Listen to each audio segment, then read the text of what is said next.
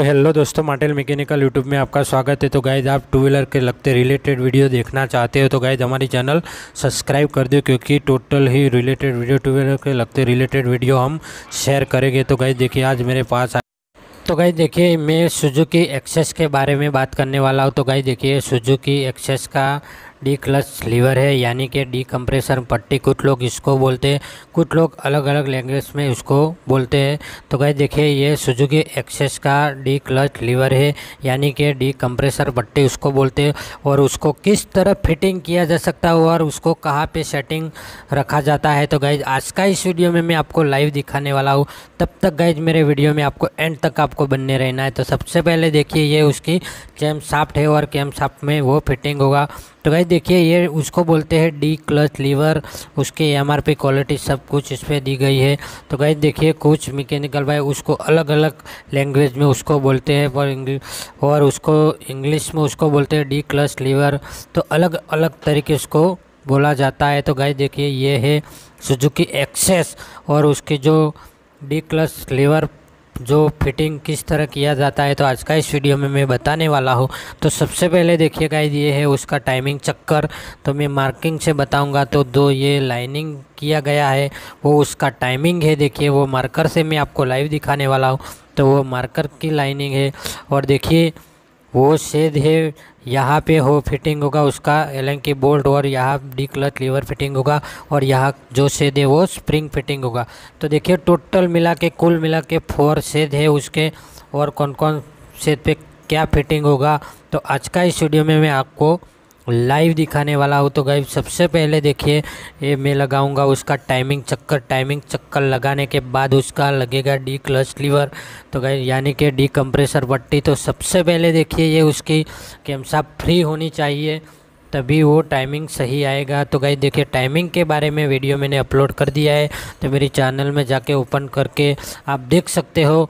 Suzuki Access का timing कहाँ पे रखा जाता है, इस वीडियो में तो गई देखिए टाइमिंग चक्कर को इस तरह लगा देना है। देखिए, बिल्कुल सेंटर में उसका टाइमिंग मिलाना है और टाइमिंग लगाने के वक्त उसकी कैम साफ़ फ्री होनी चाहिए पिस्टन टॉप पे रहना चाहिए।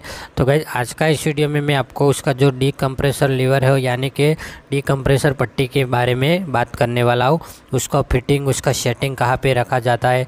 तो भाई देखिए, जो लाइनिंग वाला मार्किंग था, बिल्कुल बॉडी के बिल्कुल सेंटर में रहना चाहिए। उसके बाद देखिए ये मैं आपको दिखाऊँगा, ये बॉडी के बिल्कुल सेंटर में रहना चाहिए, तभी वो सही मार्किंग आएगा और यहाँ पे लगेगा उसका एलन की बोल्ट तो कहीं देखिए डी कंप्रेसर लीवर को देखिए, इस तरह आपको उसकी जगह में इंस्टॉल करना है। तो सबसे पहले वो प्लास्टिक वाला फाइबर है, उसकी स्प्रिंग उसमें लगा देना है। उसके बाद देखिए, इस तरह लगा देना है। देखिए, उसके ग्रूह में देखिए, उसको इस तरह लगा देना है। देखिए, ये मैंने उसका जो डी क्लच लीवर लगा दिया। उसके बाद देखिए, उसको कहा, इस तरह लगा के उसका जो स्प्रिंग का छेद है, देखिए, जो छोटा वाला छेद था यहाँ में फंसा देना है उसे फंसा के बाद गाय देखिए, उसको ये छेद है, उसको ऊपर की तरह घुमाना है। देखिए, इस तरह घुमा के, देखिए, ये मैंने घुमा दिया। इस तरह घुमा के लोहे की जो पट्टी आती है लॉक देखिए, उसको इस तरह रखना है। देखिए, ये पूरा फिटिंग हो गया। तो गई देखिए, लोहे की पट्टी है, इस तरह रख कर दो एलेंग की बोल्ट आते हैं, जो मैं आपको दिखाऊँगा। देखिए, इस तरह रखना है और उसका कंप्रेशन आ गया, देखिए, और उसको टेंशन में रखना है। देखिए, वो इस तरह वर्क करेगा। अगर गाइज़ इस तरह वर्क नहीं कर, करेगा तो आपकी गाड़ी स्टार्ट नहीं होगी। सुजुकी एक्सिस और किक से भी स्टार्ट नहीं होगी और आप जब सेल लगाओगे तो आपकी गाड़ी स्टार्ट नहीं होगी। तो गाइज़ देखिए, ये लगाना ज़रूरी है। तो देखिए, ये उसका जो दो एलन की बोल्ट है, वो मैं फिटिंग कर देता हूँ। तो गाइज़ देखिए, सुजुकी एक्सेस में ये डी क्लच लीवर यानी कि डी कंप्रेसर पट्टी लगाना ज़रूरी है। अगर आप लगाना भूल गए तो शायद आपकी गाड़ी से स्टार्ट भी नहीं होगी और किक स्टार्ट से भी स्टार्ट नहीं होगी और ज़्यादा किक मारनी पड़ेगी आपको। इसीलिए कंपनी उसको डी कंप्रेसर पट्टी लगाना ज़रूरी है।